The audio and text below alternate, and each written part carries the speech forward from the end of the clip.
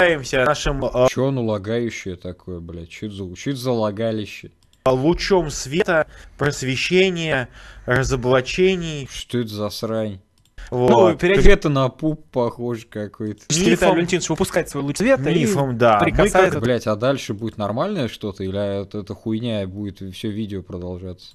уроки основ православной культуры. Во, все, нормально стало. Я охуел вообще. Вы Мне это видео советовали, я просто охуел. Ни один человек его не включил, что ли, ни разу. Звоните, будем принимать а, ваши сообщения, ваши телефонные звонки вот в течение всего эфира. Вот, Виталий Леонидович, объясните, зачем в школах нужны вот эти вот уроки патриотического воспитания? Опять пупы какие-то пошли. Блять, тот, кто советовал мне этот видос, блять. Вы включали эту хуйню хотя бы, блять, на несколько минут? Это часть. э, Блять, это несмотрибельное говно, блять, лагающее. Вы ебанутые, что ли, блять? Ни один хуй мне не написал, блять, что это типа срань, это нельзя смотреть. той идеи, которые вынашивает родительское сообщество, а, то есть те люди, у которых 9702. Вопрос для наших слушателей. А, нужно ли в школах учить патриотизму и вводить, вот эти, прода- увеличивать э, часы уроков по основам православной культуры? Александр Панчин, Ну, вам слово. Я Нужны сразу, ли... сразу не соглашусь. Агент скалит секретные материалы. Вот. Во-вторых, Малда, Малда, извините, я, ну, м- мало ли тоже секретные материалы. как Малда? Это секретный материал. Блять, Панчин, ты ебанулся такую запись заливать, блять. Осторожно, в начале проблемы со звуком так записалось, нужно промотать вырезанные участки с рекламой.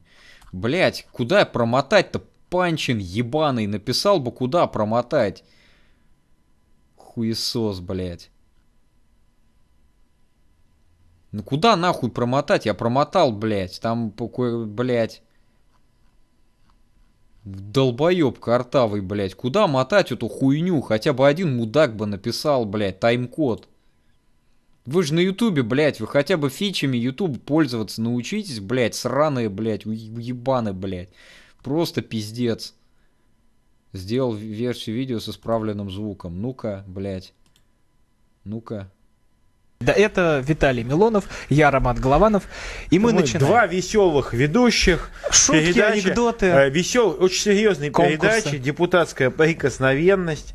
Вот, мы прикасаемся нашим э, лучом света, просвещения. Обращаю внимание, какой-то рандомный хуй сделал лучше, чем запись на собственном канале шахи, твой священный чистый лик, Вдруг улыбка Казарит в этот миг. Спасибо. Пустой берег 88. Спасибо. Но тебе надо переименоваться. Потому что мы тебя, блядь, забаним, если ты хоть одно сообщение в чате напишешь. Но за подписку спасибо. Извини.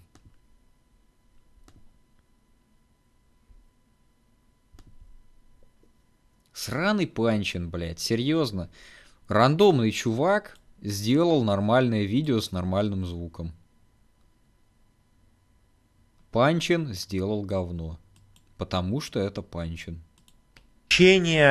разоблачений, Ну, вот, периодически к Виталий Валентинович выпускает свой луч света мифам, и да. Мы прикасается как тут. два, э, ну, я больше, конечно, вы чуть поменьше, всадника надежды, светлых воина, да, светлых рыцаря. Ну, давайте представим Да, нашего у нас гостя. в гостях Александр Не, ладно, пустого берега не баньте. Пу- пу- пусть пишет, блять, но типа... Я не одобряю игру слов, короче, такое. Панчин. Это член комиссии РАН по борьбе с лженаукой и фальсификацией научных исследований. Александр, здравствуйте. Здравствуйте. А о чем сегодня будем говорить? Вот тут на носу 1 сентября, большой праздник, Прибожик против Макгрегора. Большой праздник для всех школьников, для тех, кто только идет э, в первый класс. И Виталий Валентинович предлагает а, ввести уроки патриотического воспитания в школах и увеличить э, часы на такой предмет, как основа православной культуры. Ну, в светских школах это основы религиоведения, так, в- общими чертами это назовем. Телефон прямого эфира 8 800 200 ровно 97 Душные мудаки, душных мудаков. Давайте скорость по- по- побольше 2, поставим. WhatsApp и Viber 8967 200 ровно 9702. А вы, как Были видосы с гораздо более интересными людьми, которые мы все равно в ускоренной, блядь, хуйне слушали. думаете, должны ли в школах учить патриотизму? А, И также нужны ли уроки основ православной культуры? Звоните, будем принимать а, ваши сообщения, ваши телефонные звонки вот в течение всего эфира. Вот, Виталий Леонидович, объясните, зачем в школах нужны вот эти вот уроки а, патриотического воспитания? Это часть э, той идеи, которую вынашивает родительское сообщество, э, то есть те люди, у которых дети учатся и которые считают, что э, помнят фильм «Молчание ягнят». А что в этом фильме? Давайте вспомним же. Так. И там был очень образованный парень, Ганнибал Лектор. Он с агентом Скалли общался, ну, просто как профессор. Так. да. Талантливый был парнишка. Любил есть людей. Одна была у него проблема. А, Итак, сейчас как-то мы вырулим на патриотизм людоедство. А, Просто вопрос в том, что а, школа, э, кто помнит ее в лучшем виде, еще когда советская школа была, когда наши ученые э, вообще тоже Ели людей. Считались одними из лучших и считаются, наверное, лучшими в мире. То есть вот та наша российская, советская, неважно, вот школа историческая нашей страны, вот, а, она выросла уже на чем? На двух составляющих, на двух компонентах обучения. Первый компонент обра- образование, второй воспитание. У нас осталось образование, причем оно даже, ну, слишком сильно, там, все замечательно, а воспитание ушло. Воспитанием наших детей никто не занимается. Напоминаю, телефон прямого эфира 8 800 200 ровно 9702. Вопрос для наших слушателей. А, Нужно ли в школах учить патриотизму и вводить, вот, это, увеличить С каким агентом Скали? А, бля, он, нас- он сказал агент Скали, я этого вообще не услышал. Я был слишком опиздошен вообще примером про молчание ягнят. э, часы уроков по основам православной культуры? Александр Панчин, вам слово. Я Нужны сразу, ли... сразу не соглашусь, агент скалит секретные материалы. Вот. Малда, О, эксперт. Малда, извините, я... ну, а мало это тоже секретный материал. Как? Это секретный материал. А, Это ну, в общем, вот эта красивая девушка, материалы. которая бегала, я помню. Ну, была красивая девушка. Да, но возвращаемся к патриотизму. теме, я вижу проблему в том, что сегодня у нас принято называть патриотизмом, в частности, вот это стремление связывать патриотизм с а, православной культурой, с религией, потому что, ну вот смотрите, я бы хотел, чтобы в нашей стране все было хорошо. Я бы хотел, чтобы у нас развивалась наука, чтобы была хорошая медицина, Не, на самом деле христианин не, не может быть патриотом. Вот. То есть, на мой взгляд, это полный бред. Надо, кстати, НТО позвать как-нибудь на трансляцию, поспорить на эту тему. Э, Какой ты можешь быть патриот, если ты христианин? Твое гражданство небесный Иерусалим, нахуй, блядь. Ты не можешь быть патриотом какой-нибудь России, блядь, или еще кого-нибудь. Что это за бред сраный? Нет, ни Эллина, ни Иудея, блядь, для бога, нахуй. Ты с ума сошел, что ли? Какой, какой блядь, патриот? чтобы у нас были передовые технологии. Для этого нужно преподавать не религию, для этого нужно преподавать как раз, естественно, научные дисциплины. А хорошо, можно преподавать там историю, культурологию. А Блин, Прибожик и Васик телепортируются просто на месте постоянно. Посмотрите на него, он, он же волшебный. Кто-то, что учит людей критическому мышлению, не доверять авторитетам, чтобы не стать жертвами мошенников и шарлатанов. Колдует, блядь, пиздец. А тогда у нас будет э, хороший прогресс. И, собственно, вот меня здесь представили как члена комиссии борьбы за науку, и когда вся эта история с ОПК затевалась, было знаменитое письмо 10 академиков, в том числе э, Виталия Гинзбурга, который Нобелевский лауреат, который был как раз э, основателем нашей комиссии, э, и другие академики, которые активно выступали против этого, этой идеи введения ОПК, потому что в целом вообще идея э, религии и веры, она очень антипрогрессивна, на мой взгляд, и она очень э, антикритически мыслящая. Интересно, вот человек... Секунду, давайте назад. Вот, смотрите на прическу. Я, я, конечно, понимаю, что я не дотягиваю до повелителя ароматов, но давайте немножко войдем в этот, вот этот модус, да, э, модус похитителя ароматов, да. Эм, перед вами человек, который, э, значит, посмотрел фильм «Старикам здесь не место», увидел Хавьера Бардема и вдохновился этим, этим персонажем, однако из всех черт этого персонажа внешних решил перенять именно, блядь, прическу, по всей видимости. Э, 10 из 10, блядь, куда деваться? Она очень антипрогрессивна, на мой взгляд, и она очень э, антикритически мыслящая, потому что предполагается, что мы вместо того, чтобы проверять наши какие-то соображения, Прибожкам здесь не место. вместо того, чтобы пойти и проверить, ну вот, я считаю так, кто-то считает по-другому, Ведьмакам здесь не место. На, обложке Прибожика Васик. Ну, давайте посмотрим, какую можно придумать проверку, чтобы понять, кто из нас прав. Да. А, подразумевает, что мы должны слепо следовать каким-то догмам. Бля, можете, кстати, взять обложку старикам здесь не место, поставить Панчина, блядь, в середину назвать Ведьмакам здесь не место. Но никто не поймет, правда, прикол. А, я напоминаю, телефон прямого эфира 8 800 200 ровно 9702. Нужны ли в школах уроки патриотизма, что предлагает Виталий Милонов, и надо ли увеличивать часы основ православной культуры? А, вот нам тут пишут в комментариях, да, мы читаем э, все комментарии в соцсетях, и в Ютьюбе, и ВКонтакте, и Фейсбуке, во всех соцсетях, кто нас смотрит, пишите, и также можете писать нам в WhatsApp и Viber. Нам дозвонился Владимир из Владимира. Владимир, здравствуйте. Добрый вечер, всех с праздником Успения Бо- Божьей Матери. Вот Спасибо, раз Господи. Вот, этот- вот этот день как раз хорошо сказать. Вы знаете, уже сейчас весь мир трясет эти землетрясения, наводнения и прочее. Как раз надо не только в России, но во всем мире внедрять эту нашу православную культуру, без которой нам хана. Вот, поэтому я, кстати, поддерживаю. 25 лет я слышу, что будет, будет нас все уводиться, и какая-то сила прям не дает, и везде какие-то люди находятся, которые против, против. Вот, Владимир, спасибо большое. Охуенно. я понял, он говорит, что если не вводить основу православной культуры во всем мире, то Да вы- землетрясение. да вы- вы- вы- Вот это тут пример как раз связи нет, религии одну и секунду. Вот мы критического уже, мышления. а, Уважаемые коллеги, да, мы уже послушали изрядную порцию такого либерального вранья. Здесь либеральное? Да, подождите, я же вас не перебивал. Извините. Вы могли высказаться. Ну, такая Панчин, а где он не прав, проаргументируй, почему отсутствие православия не может вызвать землетрясение. Ты можешь это сделать? Или ты будешь, блядь, хихикать? Потому что, э, понимаете, в чем дело?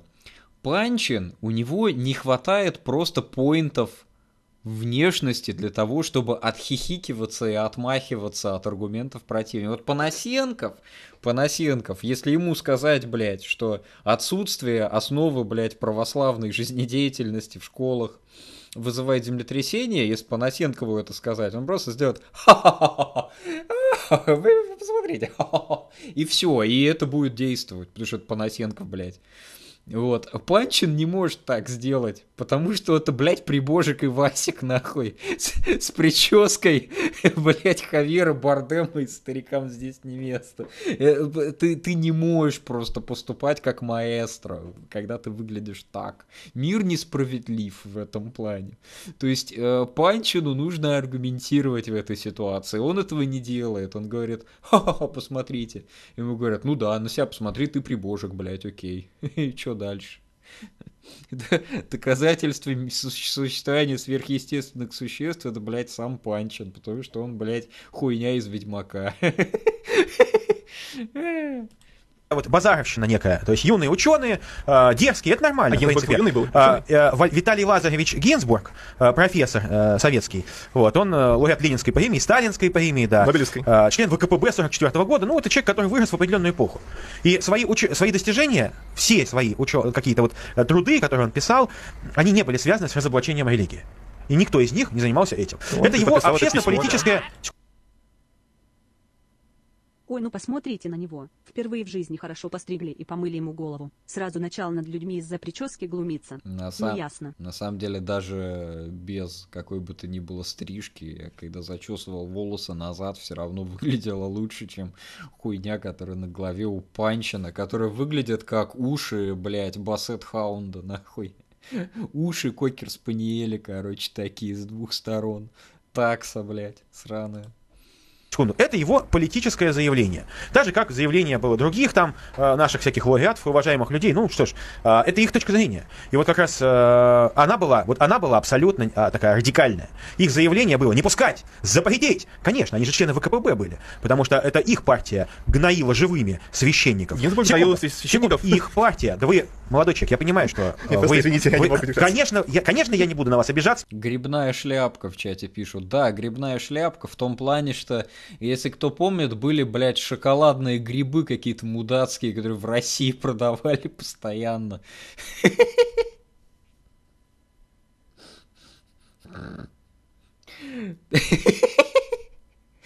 Я помню, я, я заходил, короче, в магазин 24 на 7, который, смотрю, там, блядь, шоколадные грибы какие-то ебаные. Я их ни разу не покупал. То есть... Но вот эта прическа у Панчина, он как, блядь, как чокобой, короче, с обложки, блядь. Масленок нахуй. Потому что, вы знаете, вы для меня выглядите таким базаровым, таким нигилистом. Так, давайте раз- Секунду, давайте секунду. давайте Ваша партия, в которой состоял Гинзбург, это А это, короче, Макгрегор. Смотрите, Милонов это Макгрегор после того, как его опустил Хабиб, блядь. Это Макгрегор из будущего, который... Ви- Вискарь из горла хуярил 20 лет.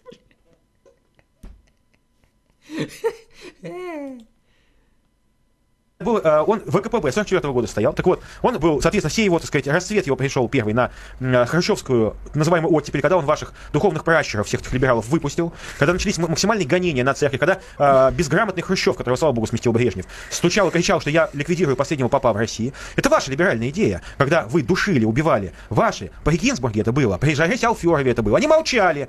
Жарес Алферов и Гинзбург молчали в тряпку. Вот, потому что они обменивали свое молчание на премии Get Жарес back here.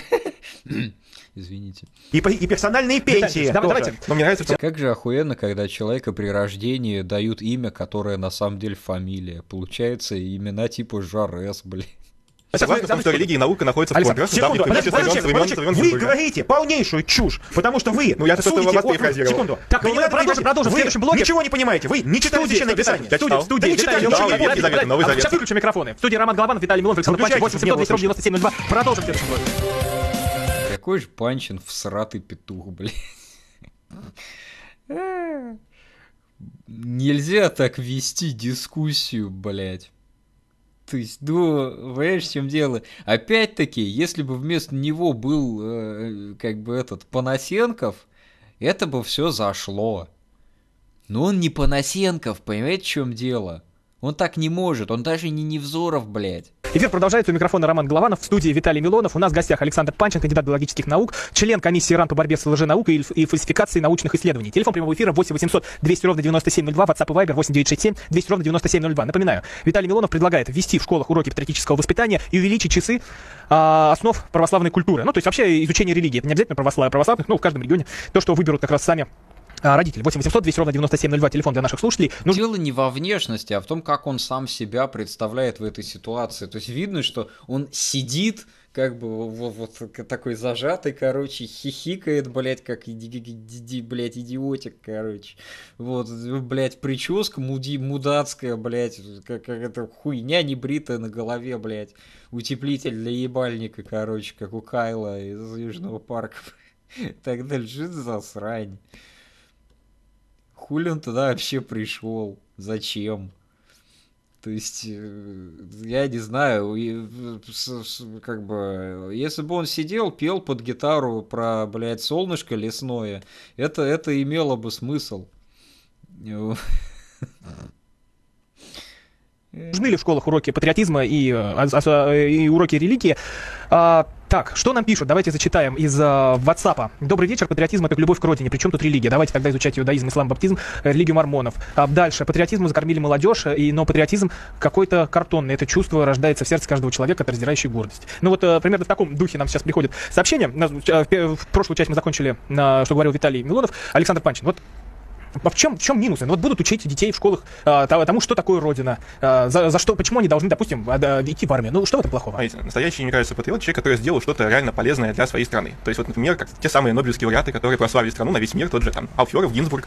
Да Вот. кроме Алферова и Гинзбурга. А, пожалуйста, я просто- давайте уйдем, не не я, выбираю, кому премию давать. Александр, хватит сужать мне до двух, трех Я ваших вам могу фамилий. назвать, но понятно, я понимаю, что для вас а, имена великих могу физиков, сегодня своими великих, да подождите, Ну, великих физиков, Почему? Это западные, великих могу физиков, которые все были практически верующими людьми, для вас они не существуют. Вы, вы читали хотя бы, вы, вы читали высказывания о Боге всех без исключения а, авторов, там, всех теорий, понимаешь, людей, которыми, чьими выводами вы пользуетесь сейчас. Ну, понимаете, вы, вы, Ньютона, вы- например. вы сидите, вот, понимаете, вы сидите, вот, улыбаетесь так вот, и, и вам приятно. Вот вы сидите, думаете, вот, хорошо, вот я взял, вот их нагадил. Вот они, В смысле, вот нагадил? они- Я- вот я- они- я-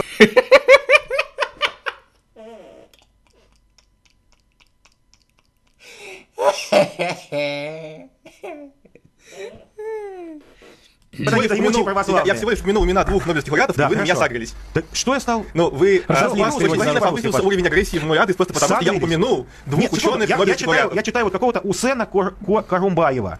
Это ваш сторонник, Усен Карумбаев, и все остальные такие же ваши сторонники. Усен и все остальные. Вот, а. Так вот, я хочу сказать, что а, люди... а, к сожалению, вот а, некоторая маленькая часть ученых, а, вот вы правильно сказали в перерыве, это не секрет, вы сказали, что вы сказали, что половина ваших однокурсников уехала из страны. Примерно, да. Это предатели Родины. Вот, другое слово. Они, Кажется, они, не они секрет, свалили, просто вы они сказали. трусы. У нас есть секрет, Они, можно? тр- они трусы. Не, не они буду трусы. повторять Они мат свалили. на Они мат. Мата- должны- мата не было. Не, не, Род- давайте не Родина, будем. Ну ладно. Значит, Родин, а, а, Родина их образа- дала А, образование. Значит, вы одна из тех причин, по которой многие мои однокурсники Они что, уехали. гомосеки, что ли? Нет, потому что? что они смотрят на вот поведение Я отрицательно отношусь к взглядам Милонова на гомосексуализм. слушайте, некоторых депутатов в нашей слушайте. стране, возмущаются, там, какие законы принимаются. Какие как нас- законы? а, ну, вот М- там Молодой человек, какой закон, кроме Пожалуйста, закона закон об чувств, закон об оскорблении чувств Какой, верующих, какой закон, закон, а, кроме да, гомосеков, да, о- вас о волнует? Вы гомосексуалист? Нет. Ну а почему вас это волнует? Ну, потому что- почему вас потому- волнует? потому что есть меньшинство, которое вы ущемляете. Какие меньшинства? Вы меньшинство, наверное. Нет? У вас дети есть? Нет. Вот именно. А И у меня что? пятеро, поэтому я что? имею право говорить в этой стране в пять раз больше, чем вы. О, Так, Господи, потому давайте что вы будете ничего- не добились. Вы сидите, жрете кофе. Я лауреат премии «Просветитель», я пью воду. И что? Вы во всем Вы- ошибаетесь. Виталий Вы Виталий э, Витальевич, вы знаете, сами в себя Маунт-Скале. оградили. О, я пью воду. Вы во всем ошибаетесь. Вы перепутали, блядь, Кларису Старлинг с данной скали, и вы не угадали, что у меня в кружке.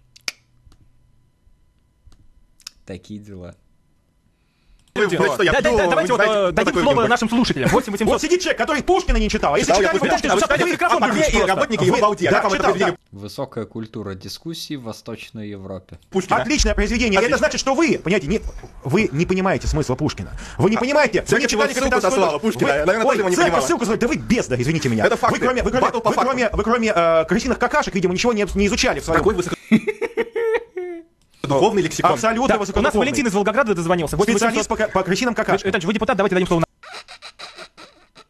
народу. 8 800 200 ровно 9702. Ненавидит он русский народ, этот человек. Ненавидит. Так, подождите. Валентин из Волгограда нам дозвонился. 8 800 200 ровно 9702. Нужны ли в школах уроки а, Уга-буга. а, патриотизма и нужно ли увеличивать часы основ православной культуры? А, Валентин Крысиные какашки. And this one is eating the poo all over the place. Здравствуйте. Здравствуйте. Ну, надо коротко говорить, я понимаю. Да, в общем, по патриотизму э, надо просто зарплату хорошую людям, чтобы квартира у каждого семьи была, медицина хорошая, и чиновники, чтобы с людьми разговаривали не через губу. А Вот. насчет православия, второй скажу. В Конституции To eat the poo написано, у нас страна э, светская. Надо провести референдум, но не просто провести, а год его обсуждать, а давать слово атеистам, а то у нас их сейчас вообще нельзя ни слова Да сказать. никто вас слушать не будет. Да, к- Александр, а вы как- Да никому не интересна точка зрения атеиста. Ну кому интересна точка зрения атеиста? Человек, точка зрения ошибающегося человека, который сам себе противоречит.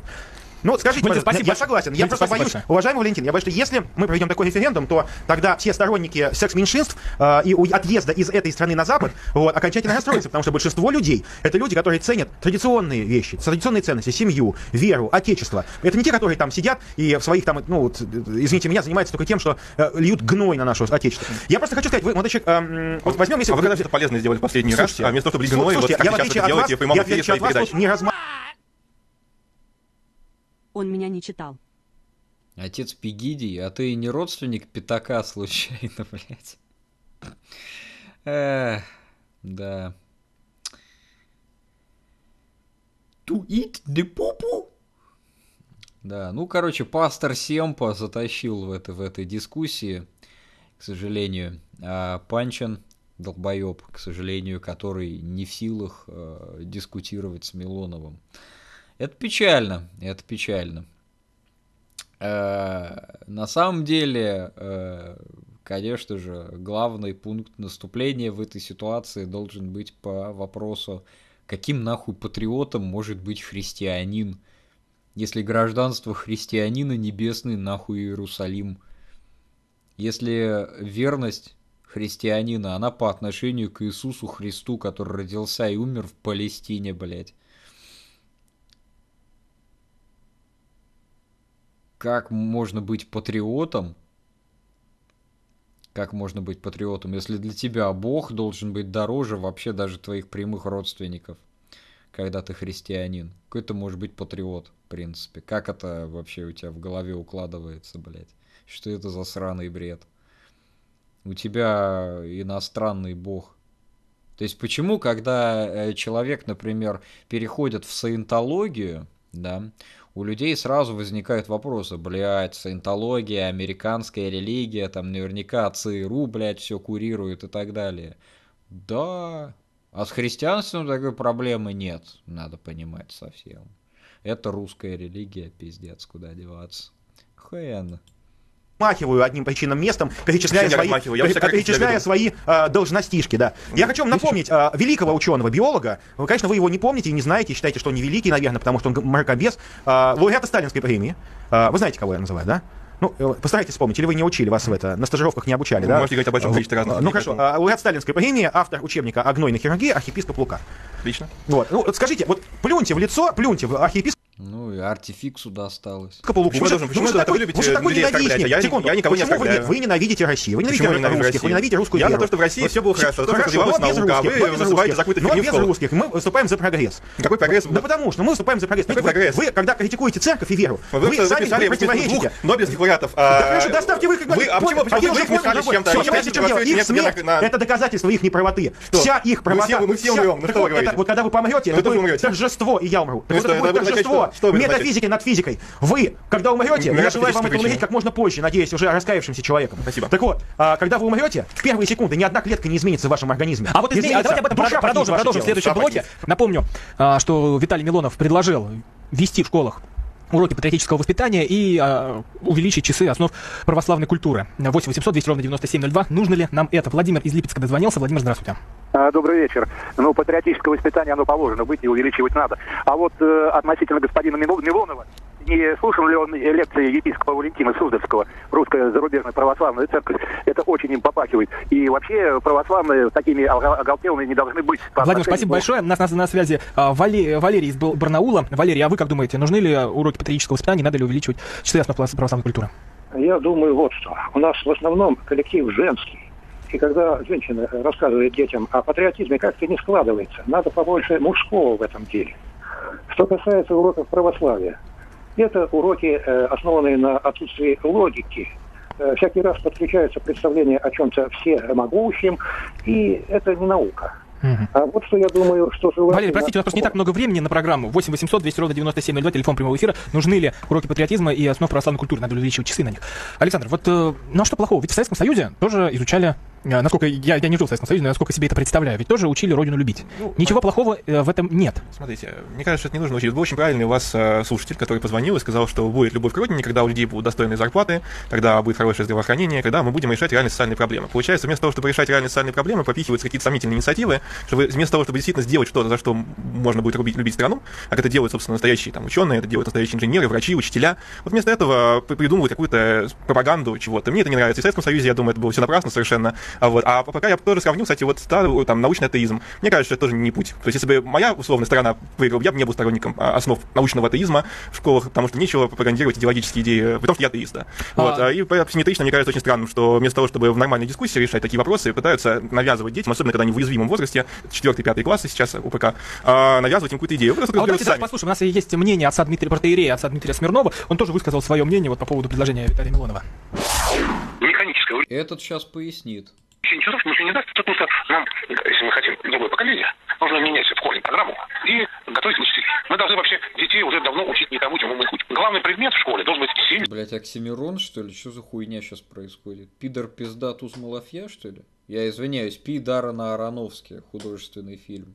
Это цитата была, если что. Я не одобряю использование терминов. А фильм хороший. Я научил мальчиков готовить быть отцами, а девочек мамами.